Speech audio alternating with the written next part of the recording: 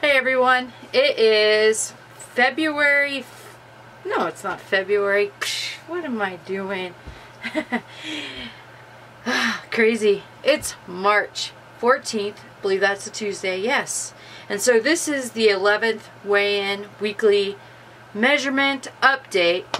And so let's see where I was at. You know, I've been struggling the last couple weeks going through like cravings, uh, dealing with stress, uh, on the road a lot extra and with work and that kind of thing and so yeah um, I've been still doing pretty good just you know sticking though with instead of like one Dr. Pepper a day I've had like two and sometimes three Dr. Peppers and that's where that'll kill me um, my exercise got slowed down a little bit but I'm still at least getting four days uh, plus a weekend and so that's all good. Uh, I wanted to start drinking more water. Um, that little jug thing, that big jug, it's a little hard to uh, carry around and that kind of thing. Um, but I'm going to have to break through that mental uh, thing and just uh, carry that around anyway in the car with me all day.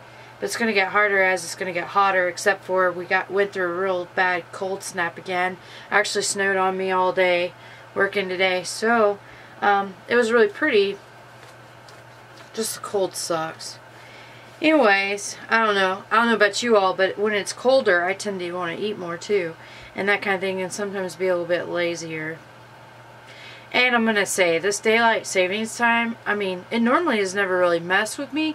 But this past year, uh, changing the time, that's it's starting to have an effect. And I really don't like it anymore. I like the longer days, but... Um, just man we're just so busy in our lives these days and you know you're trying to do all these things and it messes up your freaking eating routine and all that stuff and it's just aggravating. But anyways I'm gonna quit complaining. Um, and let's kind of get to uh, the weekly weigh-in and measurement update and see how I did. Uh, yeah let's just let's just get to it. Let's just see how I did. Okay so I'm actually uh, down 0.4 pounds so that's that's not a lot of uh, weight to be down or anything like that for sure but uh, it's progress. Um, since I had gained you know 1.6 pounds back so working on trimming it off.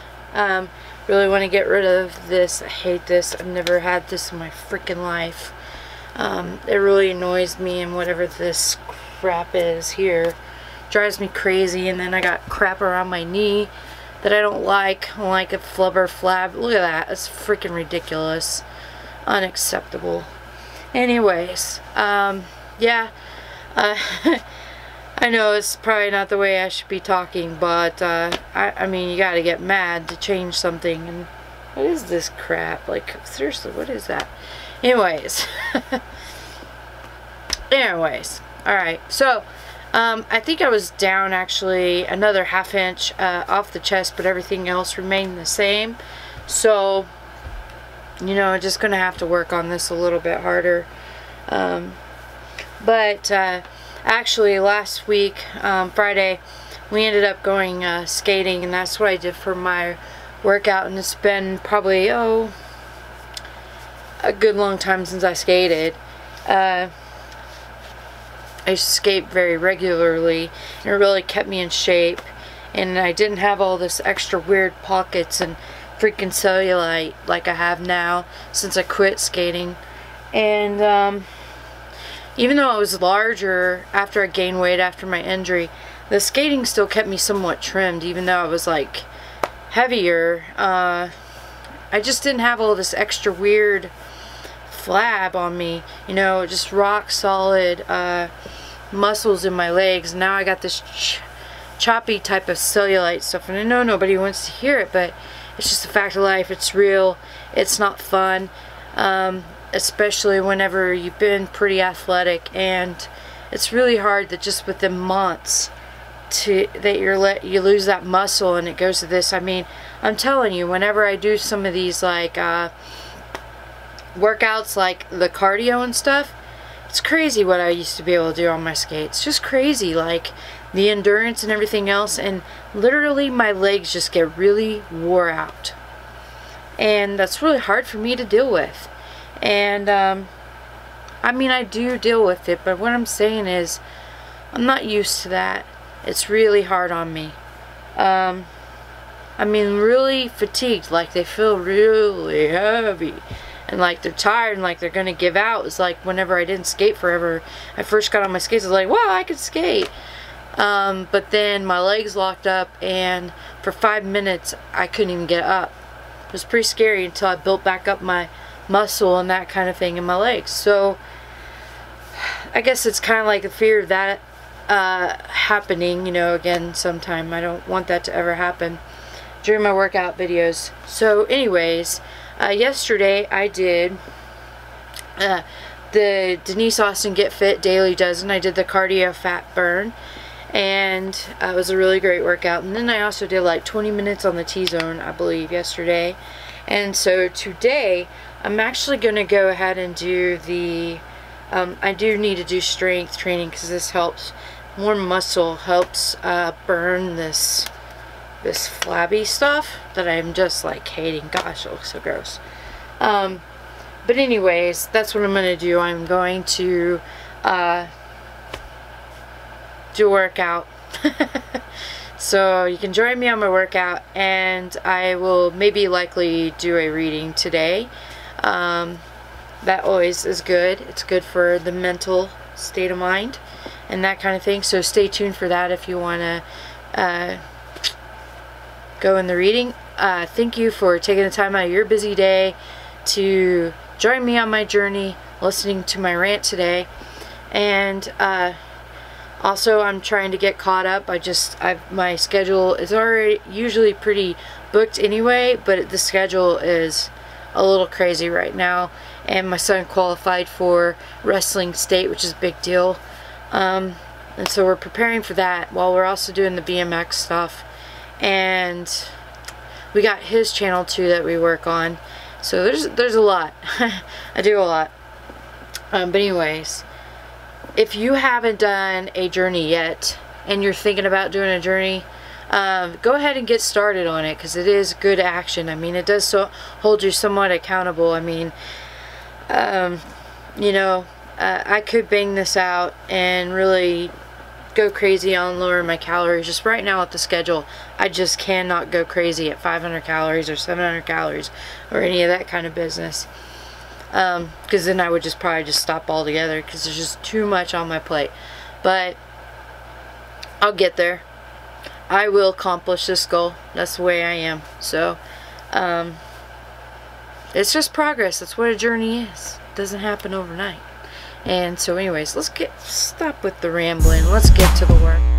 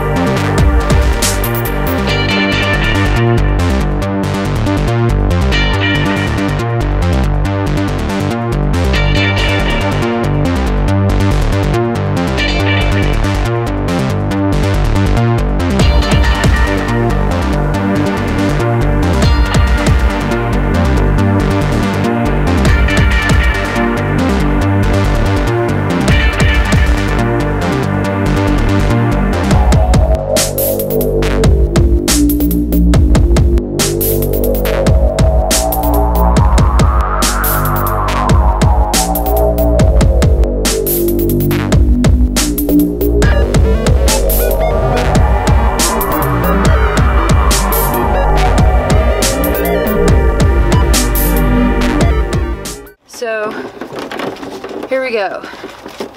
Rivers in the desert. Behold, I will do a new thing, now it shall spring forth. Shall ye not know it? I will even make a way in the wilderness and rivers in the desert. Isaiah 43 19. In this 43rd chapter of Isaiah are many wonderful statements showing the irresistible power of supreme intelligence coming to man's rescue in times of trouble. No matter how impossible the situation seems, infinite intelligence knows the way out. Working with God power, man becomes unconditioned and absolute. Let us get a realization of his hidden power we can call upon at any moment. Make your contact with infinite intelligence, the God within, and all appearance of evil evaporates, for it comes from man's vain imaginings. In my question and answer class, I would be asked, how do you make a conscious contract with this invisible power? I reply, By your word.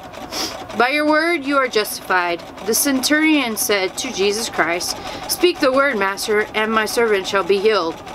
Whosoever calleth on the name of the Lord shall be delivered. Notice the word call. You are calling on the Lord or law. When you make an affirmation of truth, as I always say, take a statement which clicks. That means gives you a feeling of security. People are enslaved by ideas of lack and lack of love. For at every step, if we had ears to hear and eyes to see, of course we would have left. Oh, whoops. Lack of money, lack of companionship, lack of health, and so on. They are enslaved by the ideas of interference and incompletion. They are asleep in the Adam, uh, Adam, Adamic dream. Adam, generic man. 8 of Maya, the tree of illusion, and saw two powers, good and evil. The Christ mission was to wake people up to the truth of one power, God. Awake thou that sleepeth. If you lack any good thing, you are still asleep to your good. How do you awake? And if you haven't uh, watched the video yet about uh, catching up to your good, that was the week 10 update. How do you wake from that Adamic dream of opposites after having slept soundly in the race thought for hundreds of years? Jesus Christ said, When two of you agree, it shall be done. It is the law of agreement. It is almost impossible to see clearly your good for yourself. That is where the healer, practitioner, or friend is necessary. Many successful men say they have succeeded because their wives believed in them. I will quote from a current newspaper giving Walter P. Chrysler's tribute to his wife. Nothing, he once said, has given me more satisfaction in life than the way my wife had faith in me from the very first. Through all those years, Chrysler wrote of her, It seemed to me I could not make anyone understand that I was ambitious except Della. I could tell her and she would nod. It seems to me I even dared to tell her that I meant I intended someday to be master mechanic. She always backed his ambitions. Talk about your affairs as little as possible, and then only to ones who will give you encouragement and inspiration. The word is full of wet blankets. People who tell you it can't be done that you are aiming too high. As people sit in truth meetings and services of 10 a word or an idea will open a way in the wilderness. Of course, the Bible is speaking of states of consciousness. You are in a wilderness or desert when you are out of harmony, when you are angry, resentful, fearful, or undecided. Indecision is the cause of much ill health, being unable to make up your mind. One day, when I was in a bus, a woman stopped it and asked the conductor its destination. He told her, but she was undecided. She got halfway on and then got off, then on again. The conductor turned to her and said, Lady, make up your mind. So it is with so many people. Ladies, make up your minds. The intuitive person is never undecided. He is given his leads and hunches and goes boldly ahead, knowing he is on the magic path. In truth, we always ask for definite leads, just what to do. You will always receive one if you ask for it. Sometimes it comes as intuition, sometimes it comes from external. One of my students named Ada was walking down the street, undecided whether to go to a certain place or not. She asked for a lead. Two women were walking in front of her. One turned to the other and said, Why don't you go, Ada? The woman's name just happened to be Ada. My friend took it as a definite lead and went on her on to her destination, and the outcome was very successful. We really lead magic lives, guided and provided for at every step. If we have ears to hear and eyes that see, of course we have left the plane of intellect and are drawing from the superconscious. The God within, which says, This is the way, walk ye in it. Whatever you should know will be revealed to you. Whatever you lack will be provided. Thus said the Lord, which maketh a way in the sea and a path in the mighty waters. Remember ye not the former things, neither consider things of old. People who live in the past have severed their contact with the wonderful now. God knows only the now. Now is the appointed time. Today is the day. Many people, let's hold up, let's back up there. Remember ye not the former things, neither consider the things of old. People who live in the past have severed their contact with the wonderful now. God knows only the now. Now is the appointed time. Today is the day. Many people lead lives of limitation, hoarding, and saving, afraid to use what they have, which brings more lack and more limitation. I give the example of a woman who lived in a small country town. She could scarcely see to get about and had very little money. A kind friend took her to an oculist and presented her with glasses which enabled her to see perfectly. Sometimes later, she met her on the street without the glasses. She exclaimed, Where are your glasses? The woman replied, Well, you don't expect me to hack them out by using them every day, do you? I only wear them on Sundays. You must live in the now and be wide awake to your opportunities. Behold, I will do a new thing. Now it shall spring forth. Shall ye not know it? I will even make a way in the wilderness and rivers in the desert. This message is meant for the individual. Think of your problem and know that infinite intelligence knows the way of fulfillment. I say the way. For before you called, you were answered. The supply always precedes the demand.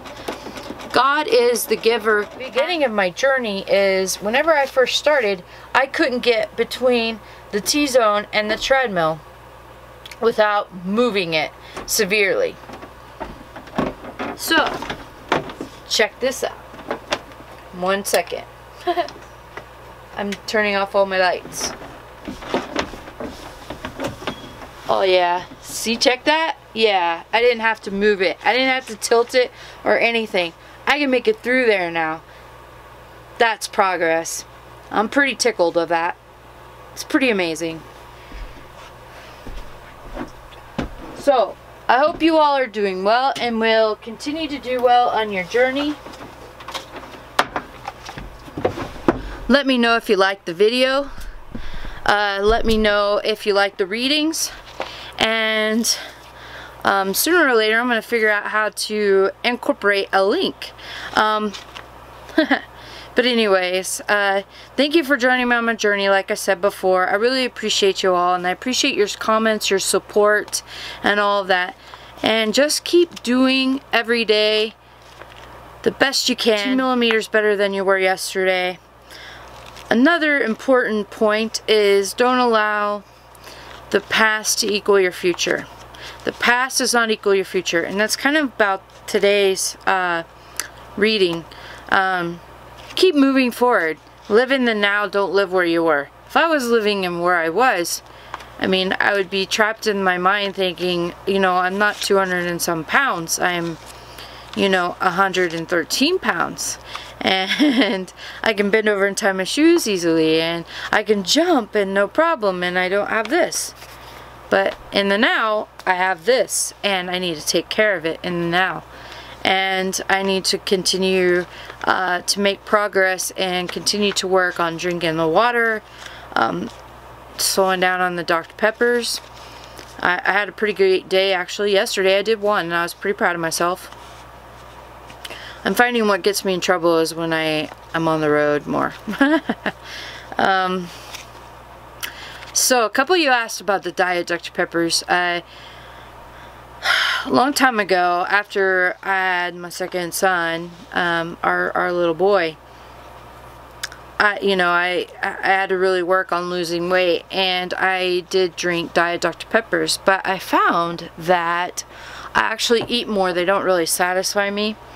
Um, it's really weird. Um, and not only that, but I was told it's better to drink the regular Dr. Pepper because our body knows how to process that sugar and it doesn't know how to really process the sugar of the Diet Dr. Pepper.